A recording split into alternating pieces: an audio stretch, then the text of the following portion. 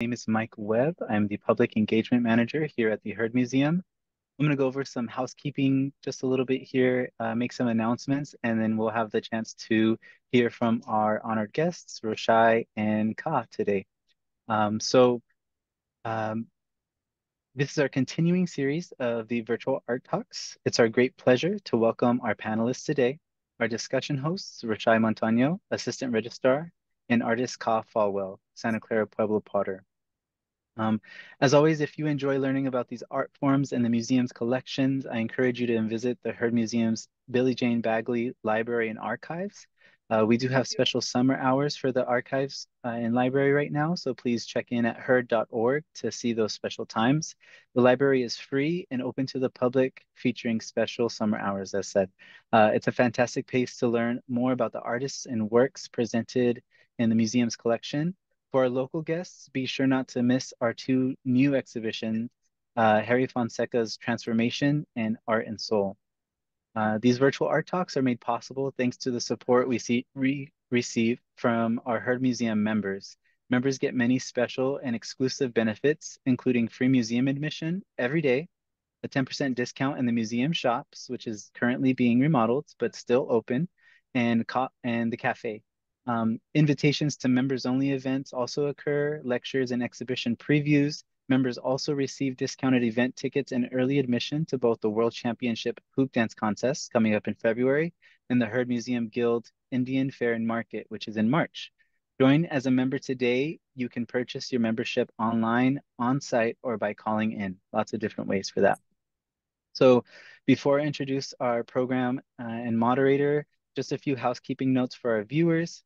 Um, today's presentation is a webinar, and so you'll only see the screens and faces of our presenters. You will not be seen on, on, the, um, on the display, but you will have the opportunity to type into the chat box or the question and answers. If you hover your mouse over the Zoom features where your video and sound are, you'll be able to see that chat box and a little box that says Q&A. If you would like to propose a question for the panel, please write in in these spaces uh, we do have time at the end of the uh, our talk to answer those questions. Um, remember, captions are available. If you'd like to use them, again, scroll over your screen in Zoom and turn them on with the menu bar at the bottom. It should say CC. That's how you turn on those captions.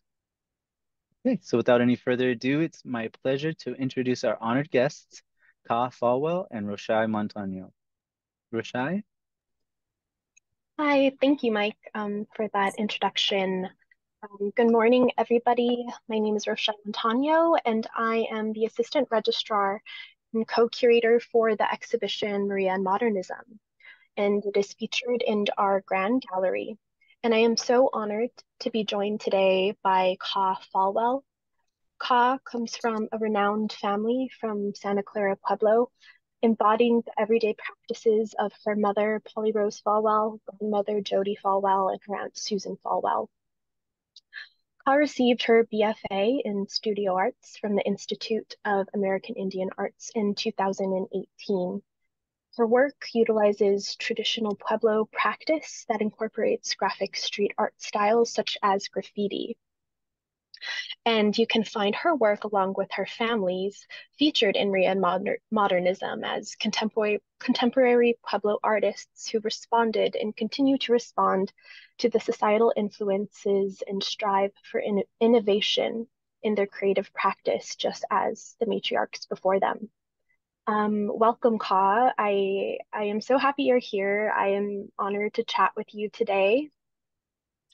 Thank you, um, Roshai. I'm so honored to be here with you all, and I really appreciate um, your your work and Mike's work um, to get this all going. So thank you for having me.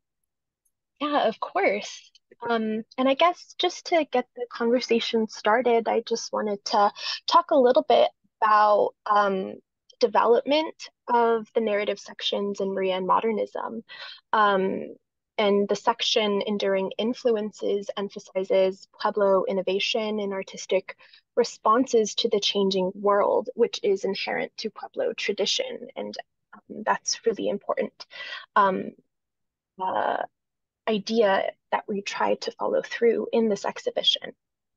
and different families they they utilize their you know um, unique practices and their techniques and I want to talk a little bit about your family and how you developed your own personal style when the women around you, you know, they're so um, they're so unique and unique to them, but at the same time, I feel like there is a, a familial style that follows mm. through. Mm. So I'm interested in in your introductions to clay and how you found your yourself in the work.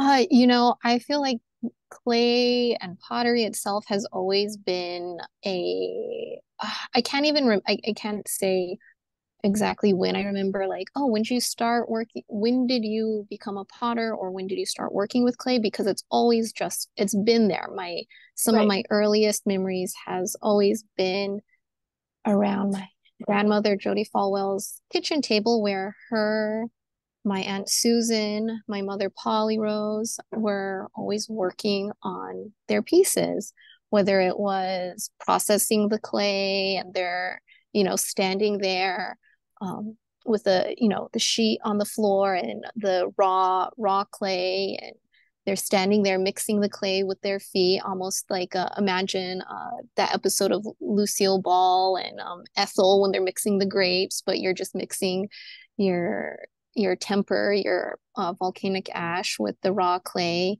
and watching movies. And so it's just you know and sitting there almost in diapers watching them do go through all of the steps and the process of being able to build pottery and to be able to sustain a living. And even though clay may not or pottery might not be used in a utilitarian way it's still very much providing for the families mm-hmm. uh, that are still carrying on pueblo pottery um, i think it's really just as I get older, I find myself more and more, and lucky is not the right word, but being blessed that I get to um, have this as an avenue to develop my own creativity, but then also be able to provide for my family, which I have realized through life that that's not always a guaranteed thing, or that's not always a um, what's the word? Uh, guaranteed. It's just, it's very blessed. So carrying on with my work as from a child to an adult now, there's always been a level of, oh goodness, um, watching watching my family, watching my grandmother, my aunt, and mother, and even at a point in time, there was my great grandmother Rose Naranjo, um, and there i think a really important thing to know about Pueblo pottery is you might the end product you might have one one singular piece and it might have one singular artist's name on it. But when you're looking at each piece there's almost always a whole family a whole community behind that one piece. Because when we're digging for, for our clay we're digging for the temper the pot um the volcanic ash when you're just sitting there working, designing, um, doing the fun parts of the pot, um, firing your pottery, it's all very community oriented. It's mm-hmm. all very family based. And it's, I think, I think it's very rare, particularly with Pueblo pottery, where you're ever really truly by yourself or sitting there going through all of the steps only by yourself. There's always, always your family is there with you, your community is there. And it's, um, I think that that's a side of Pueblo pottery that's not always recognized when you're looking at the finished product. And with Maria in modernism, when you see all of her beautiful work and what she represents, there's again, there's all of that family and that community and all those beautiful stories of other people in in San Ildefonso Pueblo or even Santa Clara Pueblo or even any of the other Pueblos if they needed to pay for buy gro- a wagon of groceries or get a wagon fixed or something some of the other they just needed that monetary means um and she knew she could get a better price for because her name was attached to that piece she would people would come over and so that's like i think just such a beautiful thing about pueblo pottery is that there's always this really strong presence of family and community and it's always providing whether it's a utilitarian way holding carrying your water holding your food cooking your food um, yeah, and it really just carries that that sustenance of life, and I think that really follows through in some of the um, ideas connected to pottery in the land and carrying that kind of forward, even though it's not utilized in the same way. And I will say that um, it is so important to any visitors who come to the exhibition. I always emphasize that it is um, it is a community activity that the family is involved in so many steps and there's this notion in like western art and it's very individualized but that's not the case with mm-hmm. pueblo mm-hmm. pottery it's very um, family and community oriented um, mike can you go to the next slide please thank you and so you know i i've I've loved your work for such a long time, and your style has always just stood out to me. And um, can you tell us a little bit about Pueblo Swag and how you think this really captures, um, you know, your your artistic um, style and your practice, and what what um, this this work kind of uh, has developed into for you? Oh goodness. So, okay, so at like as a child, I was always seeing my grandmother and aunt and my mom always doing u- utilizing whatever mediums to design their pottery with.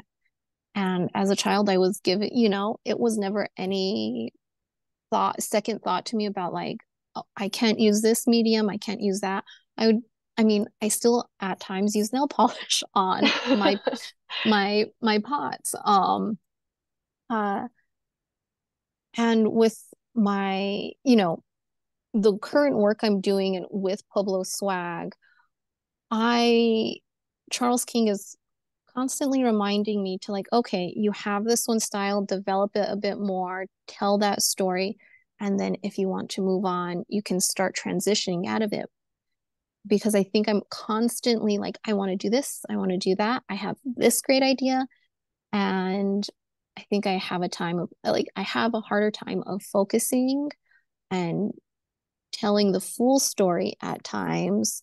And I want to jump to the next story to, you know, to a certain extent. And those Pueblo swag, I was really at the time, um, this is the core I was working on. It. I think I started building it um, you know, probably 20 2020 i'm a pretty like i'm a very slow builder i also mm-hmm. have like four you know four kids and life happens so i'm building and i'll put it to the side and could be months later till i re-pick it up so i'm pretty sure i built this originally built started building the pot in 2020 mid pandemic kids were at home having to do online school and kind of figure out a natural like balance of everyone being around, but also at the same time, I think Pueblo people to, are also very naturally, even though it's 2024, we're still in a way like I don't want to say on top of each other, but we're still in that rhythm of being with one another nearly every day. Mm-hmm. Um, but it was just finding that balance of the rest of the world and as a, as I was working on this piece, I was I remember I had a conversation with Charles Charles King, and he I was like, I really want to like start doing something new and different. I feel like I've been doing this for so long, and he's reminding me, but you only produce a certain amount um, of pots a year, and it's just not enough to finish telling the story of mm. this of this design that you've you've created with the hydro dipping of the pots and he was i don't know just the conversations of being in the pueblo wanting getting antsy i think it was just that energy of 20 of the pandemic of getting antsy and wanting things to move and happen but it's almost in a weird way was getting very um it's just I don't want to say stagnant, but it was just that like same same circle of like what's happening, what's going on. And I think a lot of the lines within Pueblo swag represent that to a certain extent mm-hmm. of wanting to know what's what's going to be the next step, what's happening now, but then also um trying to find that balance. So you have the black and white, of course, and the Pueblo swag of just I feel like a lot of the times you see a lot of other tribes are very much represented, are very, very swaggy. And oh, they yeah. have, I mean, just their gorgeous beadwork and elk teeth dresses and uh, you know, my partner's from Fort Hall, Idaho. So, and I'm out here right now, and you just, you always see all of their swagged out, whether it's day to day, going to ceremony, or seeing their powwow out here. Everyone's just constantly swagged out. And not to say that Pueblo people aren't, but I think in mainstream, a mainstream media, you see the super swaggy, the identifying markers of like, that's indigenous, that's Native American. And at times I feel I feel like Pueblo people to a certain extent, it's also in our nature to be like um very, I don't want to say like secretive or hidden in our communities, mm-hmm. but what is for us is for the people in the community and not necessarily the outside world. And I think yeah. by, by trying to say Pueblo swag was like, we like we've got it going on too like we've got look at like look at us because a lot of our things we do um the root of a, our culture base is too about you know it's it's for our people and for the you know the greater good the whole world but it's what's for us is for us and it's there's always a line of like you don't you you are permitted to share only certain things mm-hmm. to the outside world. And that goes back into um, Pueblo pottery and my grandmother having to, you know, when she was coming out with some of the some of her first really wild works in the 70s, late 70s, 80s. And a lot of traditionalists were upset because it was that's not how you present um, yourself as a Pueblo person. Like you're permitted for certain I you can you can show and just depict certain iconography iconographic imagery within your work the very you know um, I don't want to say stereotypical, you know, the Avanyu because I love I love what the Avanyu represents. It's a it's a water bearer, it's a water protector. Um, yeah. But in traditional work, you see a lot of that the Avanyu, that water serpent around the pots, and that it's heavily based in my work as well. But that's one of like some of the few images that can kind of go out there to the world to a certain extent. And at the time when my grandmother was doing work, it wasn't so much, you know, um, I, you it was just work that was too out there, too out of the box for being for her being a Pueblo person. And I feel very, um, again, blessed that I don't have to face necessarily that criticism um, from the community necessarily. Um, well, and I'm sure there is to like a certain extent. It's just more acceptable because there's we're so inundated with all kinds of media. So what I think is being done is still within pottery and within my particular family with the Folwells, it's um I think not seen as bad. And I, yeah, I and I think uh, you know, like like Rose Naranjo, you know, breaking those boundaries and just being just a radical matriarch and doing what she wanted to do and pushing those boundaries is is you know um, is part of the giving giving reverence towards those women and their fearlessness. So Pueblo Pueblo swag can exist, you know, and yeah. I think and I think it's amazing. And you know, if you if you give my grandma, for an example, like any opportunity to be swagged out in her like turquoise and her velvets, like she will be out there. So I really like this kind of um, idea of just, uh, you know, with the, the confidence and the, the love and the gratitude towards the idea of Pueblo swag and how you interpret interpreted that. Um, oh yeah, no, I I you know again thinking about working on this piece, there's and it goes for almost any piece I work on. It's I really just profoundly love the traditional shapes, but specifically the water jars. Yeah. Um, and having that solid base and that root of um, those shapes that just almost have a really solid foundation within Santa Clara Pueblo, within mm-hmm. Pueblo communities that carried the water, carried the food, sustained people for generations and generations, and that are still providing for generations. But then I really, I just find it so important as well to reflect who we are as modern modern day people and what is what we see as keen and cool and just swaggy oh yeah. wanting to represent what it is to be a Pueblo person today.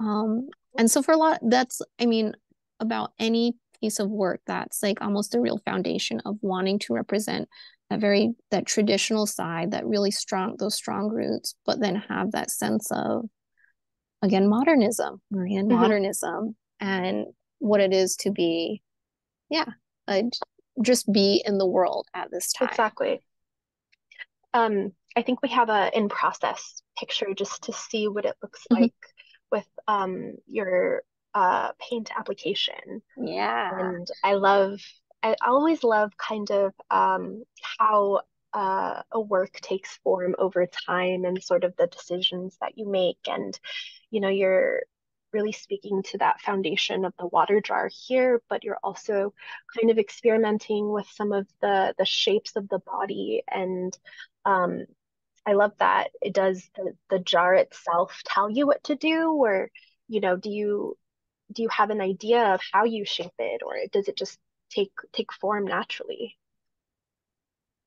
You know um a lot of the time there's sometimes i have i'll get ideas and i'll even do sketches of an idea that i have um and then there's other times i'll just start saying okay i i should just start making something and i'll make something and i kind of sit with the shape mm-hmm. or the form of it and i'm like i have no clue what to do with you i have no clue with pueblo swag that was almost an immediate um just an almost an immediate idea of I wasn't sure how it was going to turn out. And I see, you know, seeing the photographs now, I'm like, I could say, wish I had more time to sit with it. I could sit with a pot probably for years on end and playing with the details that no one else is going to see other than myself. Um, and so it, it honestly depends the piece, the time, whether I have a an idea or not. And then even if I do have an idea and I could build build a pot to the shape and idea that I had in mind, the design for whatever reason the design just isn't flowing. And there it goes back to also hearing my grandmother and great grandmother say like you you can't necessarily tell the clay what to do that's mm-hmm. you you're just you the pot is seen as the vessel but really you're just the vessel for the pot to come into the mm-hmm. world it's mm-hmm. not mm-hmm. it's really not the other way around you're just getting get forming the clay to what it wants to appear as mm-hmm. um so you know most of the time it's i try to just have that feeling of what what works with the pot and and sometimes I try and push it and push it and it's just does doesn't work. And sometimes when you push it your pot ends up breaking and cracking and doesn't make it through the fire. And you can almost look back at some of those times and go I was I was trying to push perhaps that idea a little too much for that piece when it wasn't meant to be Um, so that's how I work through a lot of my process of designing. It's more of a feeling and a vibe yeah. to go through, um, rather than just having a set plan and idea. Yeah, that makes total sense. I've worked with clay and it's so it's really hard to understand what it wants and what it needs to do and sometimes it just falls apart and you have to start over and it's an incredibly patient um, process. You have to have a lot of patience and it takes a lot of time. Um, and you know speaking of of that i mean starting at the beginning um, you you mentioned that working in clay is is more than a hobby it's a way of life. You've um, kind of alluded to that. And um, i'm i you sent me some really wonderful pictures of your of your family um, working through this process and and starting at the beginning so could you tell us a little bit about what that process is like and um, is it joyful or is it just completely like laborious Oh gosh. Okay. So probably de- depends the time, the day, the year, what age you're at. So the pictures here we have um, of the Santa Clara clay pits, and this is the same clay pits that basically any and all Santa Clara potter gets their clay from. So whether you're looking at contemporary contemporary Pueblo potters like my grandmother, my aunt, my mother, um, they get we get our clay from here. You could be looking at very traditional traditional families, um, such as Margaret Tafoya got her clay from the same clay pit. Um, her Margaret's daughter Luann and grandson Daryl and her, you know, her grandchildren uh, um, and great grandchildren. So you look at the Youngbloods of mm. Nancy and her sons and Nathan, they all get their clay from the same clay pit. So you have this this very spot is really um laid the foundation for some unbelievably like prolific Pueblo potters. And hearing stories of my of my grandmother Jody Folwell of her talking about her mother Rose and how even my great grandmother would take pots to go sell to Maria at well she was a young lady and hearing great great great great grandmothers you know also digging Marie they would go on trips to go dig clay at the same clay pit um which is really like to ha- to think about to say Maria Martinez and Margaret Tafoya, two very prolific women in pottery that they that they were at the same clay pit doing the same thing at different points in time and that generations are still doing the same thing and hopefully and i will say i'll put that on the future will be doing it in Absolutely. how many generations from now on um and digging clay it's you go into it and you're with your family and as a small kid it's a hundred percent laborious laborious. You're so bored. It's hot. You want to go home and you know go watch tv go do something fun. You're you know have to get up early in the morning to beat the summer heat or the spring heat. And you want to get your tail out of there. And then at times you're you could even be an adult and go shoot i, I gotta get some clay ready. I gotta get ready for either i gotta get ready for the Heard market or indian market and i gotta get i gotta get at least the bucket together but it's always you're always with your family at mm-hmm. some point someone's always going i'll go with you i'll come and help or i need to get some too and so if you see here the larger photo um, on the screen, I believe to the right, um, is the in the middle is my grandmother Jody. To her right is my mother Polly Rose, and to the left in the black shirt is my aunt Susan. And you can see my mom handing my grandmother, going, "Look, I found a really good piece." And I remember this day was um a they have to they come uh I want to say an ex- excavator or something that helps like pull out like the sand and the dirt to get under the shelf of clay. Oh, okay. And so at this point, I remember this day we were kind of saying, okay, they haven't um, brought in their excavator, their machinery to help mm. pull back the dirt and the sand to go farther in. And you will find the the clay in there. Um, and it's almost like a very rich, and when you pull it from the ground, it's very cool and silky and lush and comes out when you find really good, really nice big chunks. And it almost very much looks like chocolate, like a mi- mixture of not necessarily dark or milk char- chocolate. It's like that in between, but it's a silky and just straight from the earth. And it's has the most pleasant earth smell that's just so fresh very close to what you know the rain smells like very close yeah um and so you know we're sifting at this point they're really sifting through the clay and there's areas where it looks like oh that's clay and then you start seeing the silt the sand um and we try and get of course the most the most pure parts um possible um so that's kind of what was going on here. And I think to the bottom left corner with the little orange shovel is my partner. And at the time I was pregnant with my um my oldest daughter.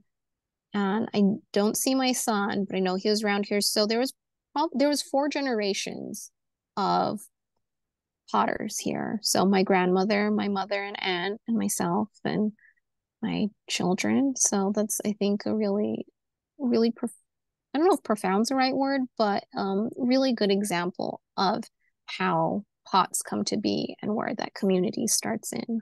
Yeah, you can really see um, multiple generations. You know, they have their own uh, task at hand, but working to- collectively. And I really love that picture and see all of that um, memories being made in in your images.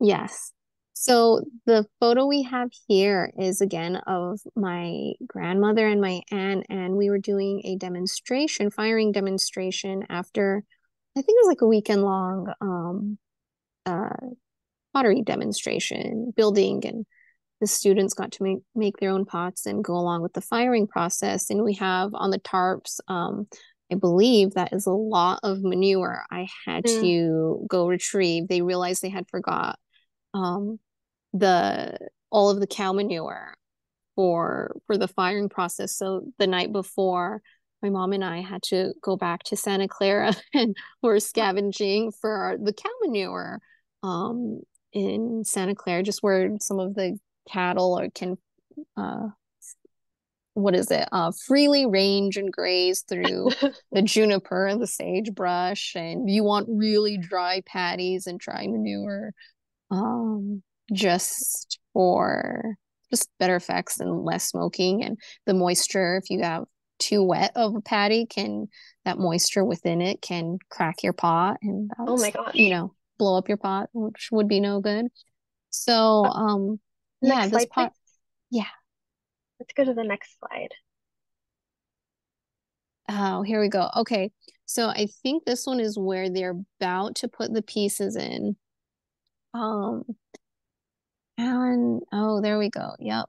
Um, and so for this process, do I saw in the previous image that the pots are kind of surrounding the fire. Does that mm-hmm. have any necessity, like bringing it up to temperature without being directly in the fire? Yes. And I think what was going on was this day was like just slightly breezy, and my grandmother was worried about when traditional firing, we're I think with being a contemporary Pueblo artist, we we do fire with a kiln a mm-hmm. good portion of the time.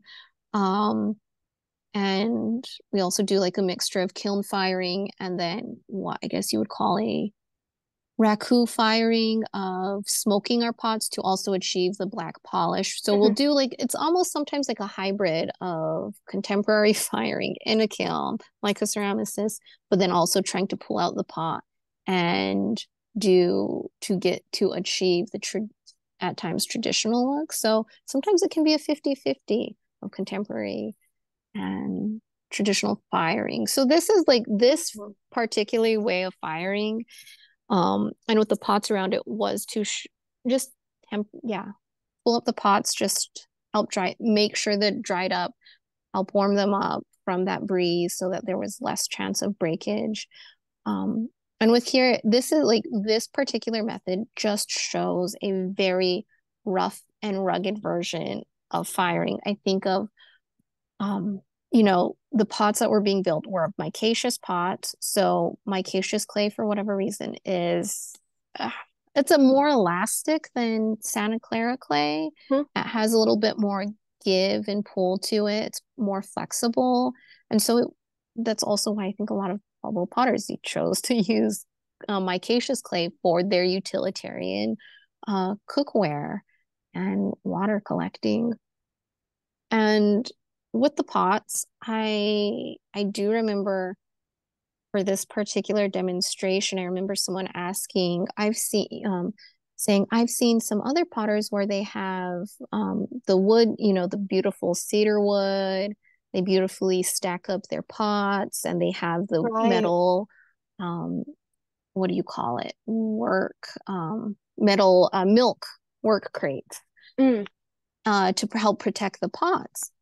And I um, remember I remember hearing my grandmother and aunt saying, "You want that, especially when you put in how many hours of work of particular to protect your pot from the uh, wood falling in or ash when it's so highly polished and it's ex you know just beautifully deep carved so you want yeah you want to protect your pots but they're like we're making we're making some serious pots here you guys are going to uh. be uh-huh. using these we're going super old school um, so that's kind of what we have here. So there's again within firing there's different methods and ways to fire pots traditionally and mm-hmm.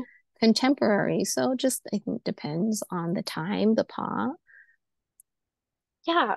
Um so uh just speaking uh briefly about your 20 well 2020 or 2019 2020 body of work i absolutely um, you know love this natural palette of grays browns and whites. And to me it kind of is reminiscent of the natural striations and rocks and land and water. And i love kind of that that technique that you utilized for that as well as you know um, the the sculptural form of the vessel and of course the Avanyu um, with its sharp graphic lines emphasizes the I guess dynamic movement of of of the of the serpent and um, I I'm interested in in sort of the techniques that you chose um, to create this body of work. You you briefly mentioned it um, in a previous slide. I think you called it um, like hydro dipping. Yes. So I, goodness, um, just scrolling through social media and seeing this was years and years ago. I want to say like circa like 20, not like 2009, 2010. And when YouTube was kind of still, it was YouTube, but still not YouTube as we know. It's still very that like homemade people just filming with their phones or digital cameras and lighting wasn't involved and people were just getting the concept of like showing DIYs at home and I remember coming across um women just the thing of hydro dipping your nails where you drop nail polish into a cup of water and then you dip your finger your fingernail into the cup and it sticks and I was like, oh, that's really cool. That's neat. And then I saw, came across the algorithm started pulling up more of this like hydro dipping your fingernails. Then it started pulling up people hydro dipping coffee mugs and they would go to Walmart and just buy, you know, your generic white coffee cup and dip it in nail polish or whatever else. And just to get like a cool look, just for a fun crafts idea. I was like, well, that's interesting. So, like, okay, yeah, uh, coffee cups are, you know, glazed and smooth and but if that can if that works for the coffee cup and eventually, yeah, if it's just nail polish with that smooth surface, it's going to that nail polish doesn't have any base to hang on to. And I started thinking, I was like, what about pottery? Pottery is ceramic, it's clay. It's why can't I do that as well? And I started playing around with, okay, let me try. And I'd make like little tiles and little pots um, just to play around with. And I have like a weird little collection of broken shards here and there still of some of those first pieces of dipping it in nail polish and going, oh my gosh, this is sticking, this is working. Weird, cool. I really like these textures. Um, and then as time progressed, you know, um, playing with nail polish and acrylic enamels to see like what floats at the top of the water. So hydro dipping, when you dip it, you get a bucket, water, and a type of paint enamel that I guess has to sit at the mm-hmm. be able to sit at the top of the water. With acrylic, I noticed just plain acrylic just kind of sinks to the bottom and turns the water whatever mur- murky color it is. Right. Just waters down the color. So that doesn't just regular acrylic work does not work. Oil does not work. Oil paints don't work either. Spray paint, nail polish, acrylic enamel, and now they like have come out with oh goodness, it's just kind of called it's just an enamel um that you can dip almost anything in. But with uh-huh. these pieces, it's actually uh, spray paint, so it's hydro dipped spray paint. So the spray the spray paint into the water um, on top of the water. And then what you can do is to achieve that marbling effect is by um, just spraying that spray paint on top of each other. And you kind of have to work a little fast. Like once you once you do it, that's it. That's for the most part it. That's what you get. So you kind of almost have to have a planned idea of how are you going to hold it? What parts of the pot do you want dipped? Um, so with the hydro dipping, that's a lot of the process, and all kind of depends. Um, I with these two pieces, this was like a small body of work that I did for Charles King um in that 20 in the pandemic era. Um and I haven't actually used this exact same method um since then with the spray paint. It's been more so of the acrylic acrylic enamel nail polish and hydro hydro dip paints to use.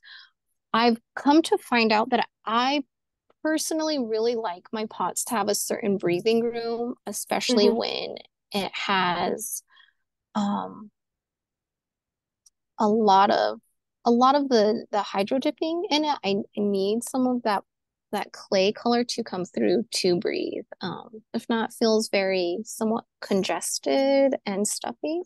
Yeah. So that's where a lot of the sorry, a lot of the earth tones kind of come come through from. Yeah, I really I love that balance. I do feel like those colors are just so beautifully complement each other and um I like that you said it leaves space. I I I I feel that in your work. Um I think we'll go to the next one just so we have enough time to talk about okay. the graffiti of Avanyu Jar in Maria and modernism. Yeah, I, so the go, go I'm ahead. sorry, go ahead, Roshai. Go oh. ahead. All right. So this, the graffiti in jar was one of the more, goodness, how do you say it? Um, one of the closer to first pieces of actually really hydro dipping the pots and figuring out what works for just the material the the medium of hydro dipping itself and the pot and trying to find that balance of letting the clay breathe I look at mm-hmm. it now and I'm like, oh my gosh, oh like I ooh. you know, I I can see how this this the other previous pictures of pots, um, those were the predecessors to mm-hmm. graffiti and Avanyu Jar. And I was really trying to get pull out more natural tones, as you can see with this this Avanyu and it just wasn't like of course it's more of a like coming up very peachy i don't remember it being that peachy but I was looking to try and find a earth tone, get to a closer earth tone of the actual mm-hmm. pot. And when I was painting this, I had realized I had sanded the pot a little too finely because my original intention was to polish it, to traditionally polish it. And so I had sanded it to just nearly its most smoothest possible point without thinking of like, I need, you know, without thinking, okay, what's going to be my black backup plan if I don't polish it? For whatever reason, I chose to hydro dip it.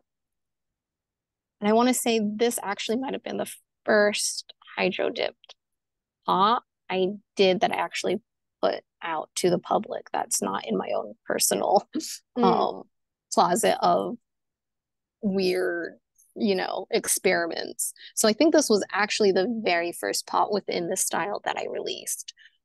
Um and you can see on the Avanyu itself there's parts where it looks like the paint was like chip like peeling and chipping mm-hmm. which at first which was actually happening to the paint. It started coming off and is going oh shoot like what am i going to do? Like i don't want to have to resend all of this and redo all this work again and looking at it more. And when you sit with your pots sometimes for so long you're just like what am i doing? This is like oh my gosh i'm a fraud. I'm an amateur. Like this is terrible. Like who who's going to want this?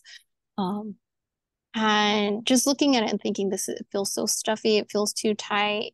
And i don't know whatever reason i don't know if i made now made the right choice to leave those spots you know yeah. of the natural clay showing, but I felt like I wanted more to the left side picture where the neck of the pot is and you can see how you see the actual clay coming out. I think mm-hmm. that's what I was trying to do was try to mimic that onto the Avanyu.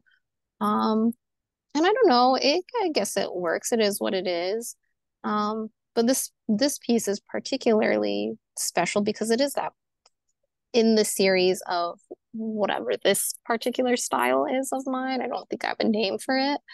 Um, other than my hydro dipped pots, is this was the this was the first one, and I was unbelievably honored for it to be included with alongside Maria's work and all these other really renowned, amazing Pueblo Potters. Um, I look at this piece and I'm just like, it, it's what, you know, something that was very, a very experimental piece. Uh, and I look at it, I'm like, I don't, still don't know, should I have re- released it? But for it to be within the style of mine, to be picked I really love, such um, a I love beautiful the, exhibit. I love the layers of experimentation here because for the viewers that can't see, the jar isn't completely like round underneath either. There's kind of some corners to it. And then there's like that um kind of undulating nodules on the neck too. It feels like that there's a lot of energy kind of almost erupting from the surface. At least that's how I kind of like um uh how it speaks to me. And then of course the graffiti. Um, and we are so honored to have this piece in the exhibition. It's definitely one of my favorite um, of yours of all time.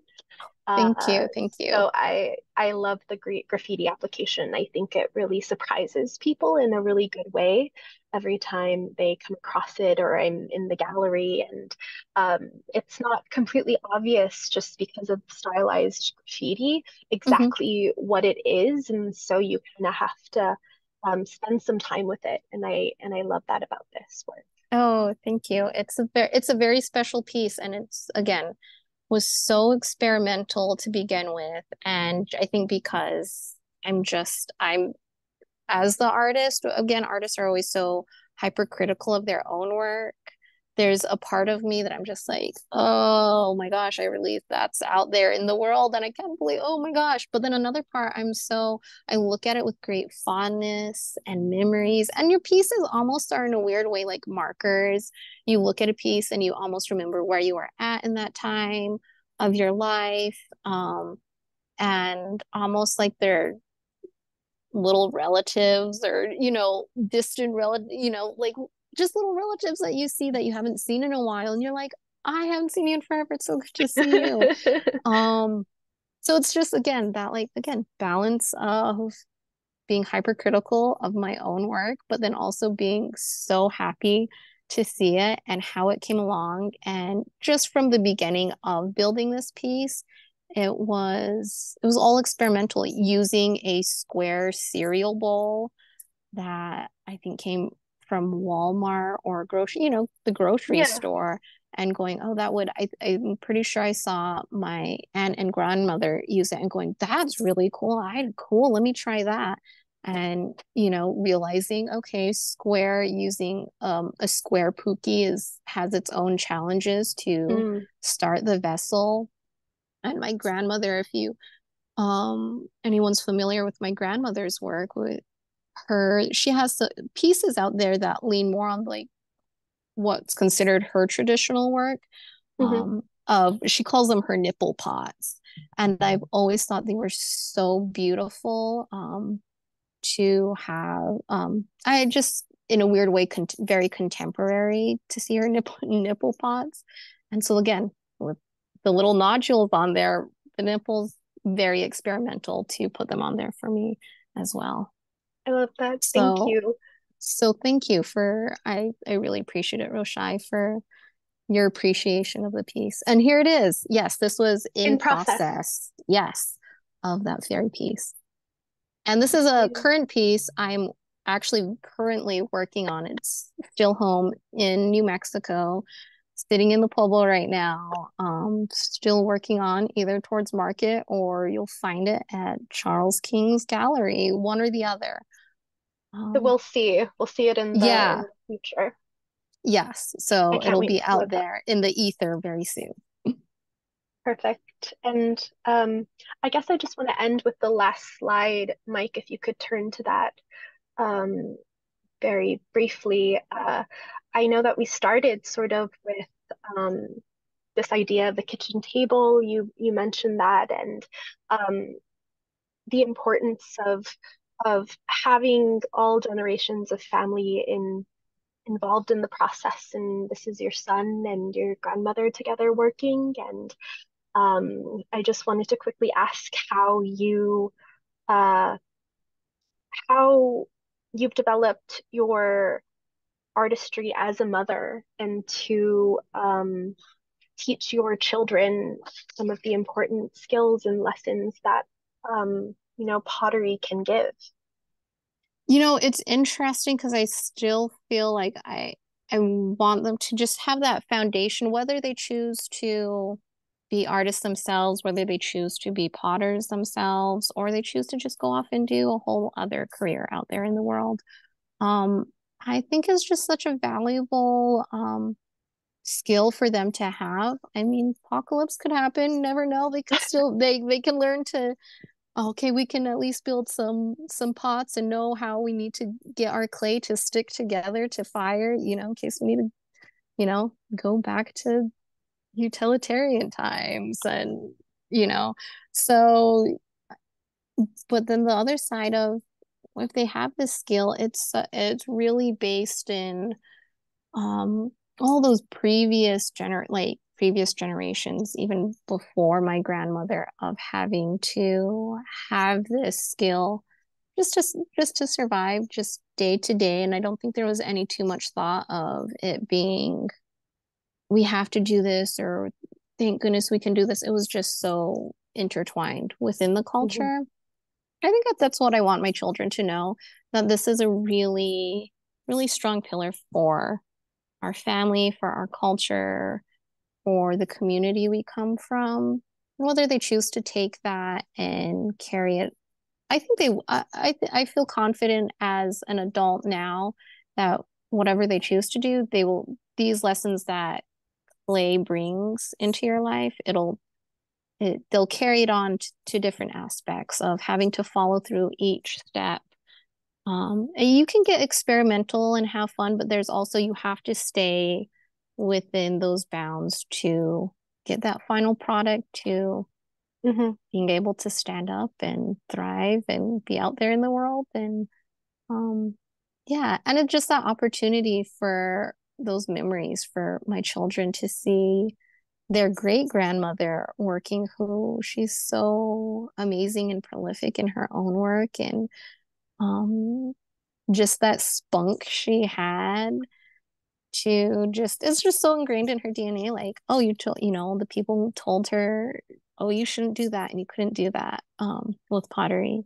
mm-hmm. that I don't know just something again for them to take with them as they grow. And me myself, it's I never realized also the work to carry on to the effort you have to put in as an an adult as a parent to teach your children these lessons. It's a lot of work and effort. So I'm learning too, um, along the way of having to keep up that responsibility, which it very much is.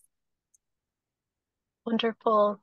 Being while teaching, it's it's an ongoing process. And uh, I just want to thank you so much for your time and sharing your work and these stories and memories with us.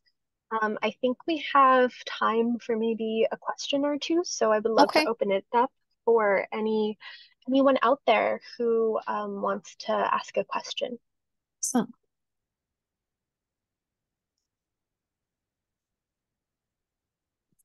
Um, if uh, Just... while while we get any questions in the chat, I can ask you something that I was interested about. Okay. Yeah.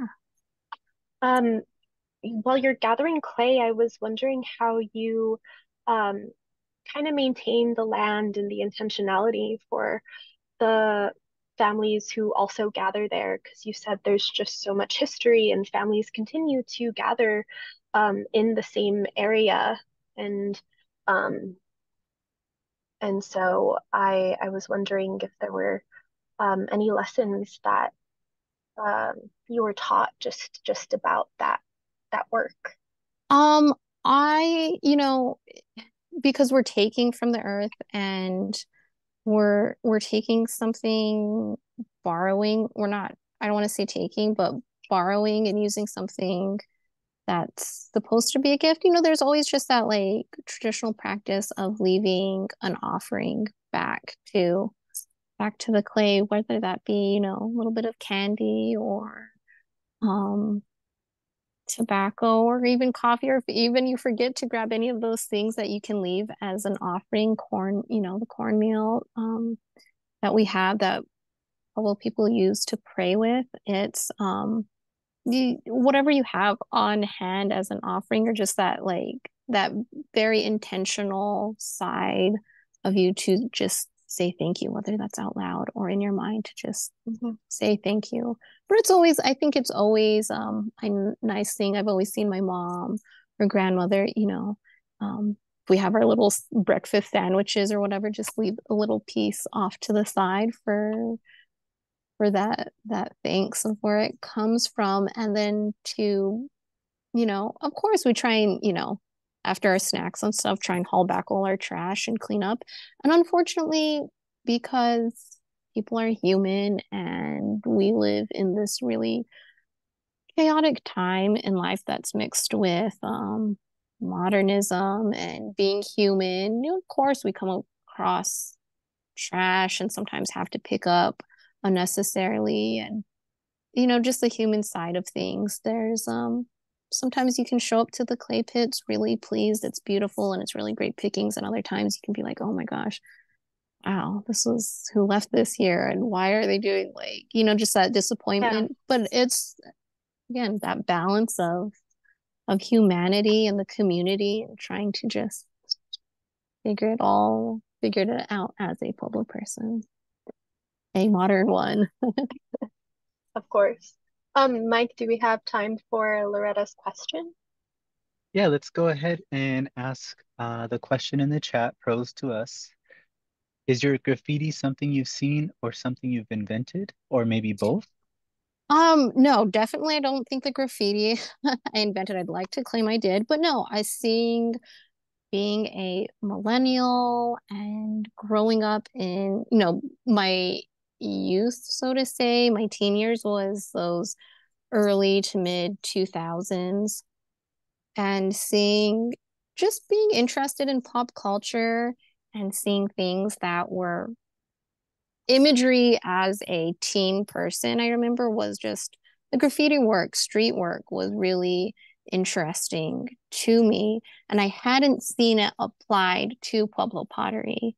And it was probably seeing graffiti and street work in itself was one of the main main pillars of me going i think I want to carry on work, working using Pueblo pottery, using pottery as my foundational skill to depict this type of imagery to a certain extent. And by no means am I a graffiti artist at all. I don't even I, you know, I, I don't once upon a time I'm would probably I would have probably been like, yeah, we'll, we'll tag up or whatever and do all this stuff, you know, like trying to be a rebellious kid.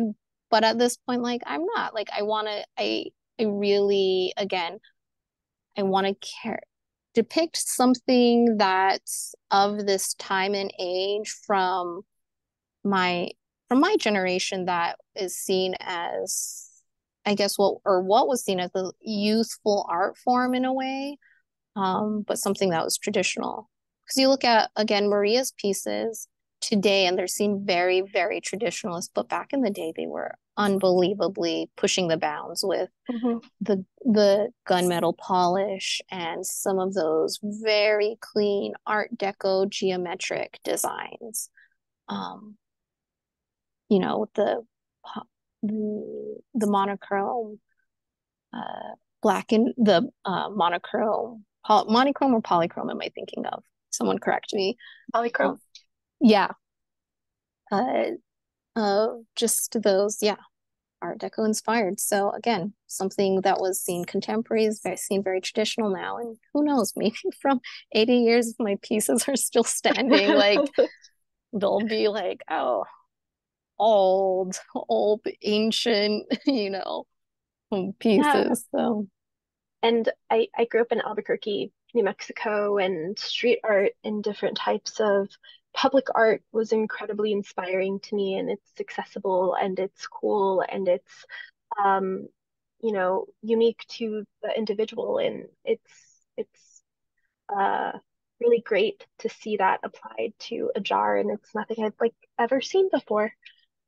Yes, you know, I try and it's something, yeah, I and that was also a thing too. I I wanted to do something that that was different and had that wasn't seen that hasn't been played with yet. So hopefully I can carry on and keep surprising and doing new things, but also have that sense of you look at it and you see you see a Pueblo pot you know if you know what Pueblo pottery is you can you can see it but then also have that sense of modernism.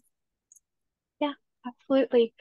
Uh thank you thank you so much for joining us today. I really loved our conversation.